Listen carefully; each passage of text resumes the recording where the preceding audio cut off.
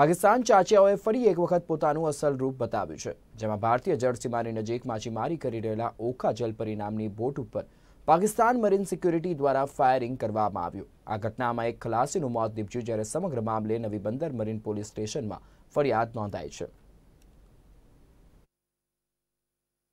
ભારતીય જળસીમા નજીક ગુજરાતની બોટો માછીમારી કરતી હોય છે. તેવા સમયે પાકિસ્તાન મરીન સિક્યોરિટી દ્વારા ફાયરિંગ કરવામાં આવ્યું હતું.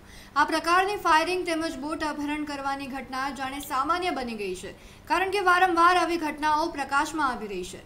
હાલમાં જ ગુજરાતમાંથી અરબી સમુદ્રમાં માછીમારી કરવા ગયેલી ઓખાની જલપરી નામની બોટ પર પાકિસ્તાની મરીન સિક્યોરિટીએ ફાયરિંગ કર્યું હતું જે ઘટનામાં બોટમાં સવાર શ્રીધર નામના મહારાષ્ટ્રીયન ખલાસીનું મોત નીપજ્યું હતું તો આ બોટમાં સવાર અન્ય એક ખલાસી પણ ગંભીર રીતે ઘાયલ થયો હતો જે બોટ ઓખા પરત ફરતા ઓખા મરીન પોલીસ દ્વારા નિવેદનો લેવામાં આવ્યા હતા वो जो बोट थी वो बोट का मालिक का नाम है वो गिर सोमनाथ का था जयंती भाई नानजी भाई राठौड़ और उसकी बोट का नाम है Jalpari, number I N D G J thirty two M M zero six four five वो गत तारीख पच्चीस दस ट्वेंटी वन को ओखा की जेटी से निकली थी और फिशिंग करने के लिए गई थी।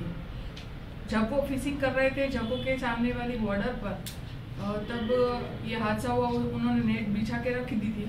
और फरियादी जो है अभी हमारा उसके हिसाब से दो बोट पाकिस्तान की ओर से आई, वो जो छोटी वाली बोट होती है, और एक उसके राइट साइड थी और एक वो पीछे साइड थी। वो लोग अपना जो स्टेयरिंग थे, वो घुमाने लगे। फिर इसी के दौरान ऐसा हुआ कि वो लोग फायरिंग करने लगे इसको रोकने के लिए। और उस फायरिंग में इस एक खलासी की मौत हो गई, जिसका नाम है श्रीधर रमेश भाई चामड़े।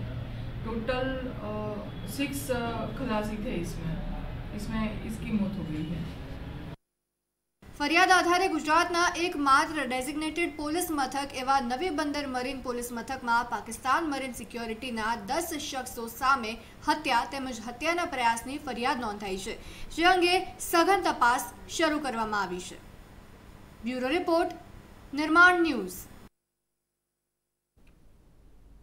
આજે રાષ્ટ્ર